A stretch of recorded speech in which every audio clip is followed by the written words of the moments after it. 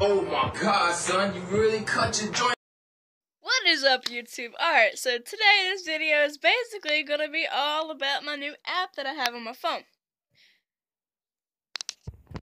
So, anyways, the app I have on my phone, see, I thought you had to have a computer to edit your YouTube videos you make. Well, I was wrong. So, I've got this little updating or editing software on my phone and you can put voiceovers, fast forwards, you can put titles, you can put separate things on it. It's really cool. I like it. So, um, yeah, basically, yeah. Anyways, so my stepmom, I told her I should I showed her these new shoes that I want. They're called simulation shoes. If you don't know what they are, I will put a picture in the next slide here.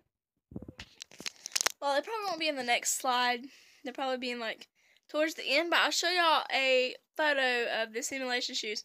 They're basically LED shoes light up around the bottom and you get the charge, you know? They're white. Um, and I really want them and I like them. So my stepmom's in there calling me Blinky, Blinky, Blinky, and all that stuff.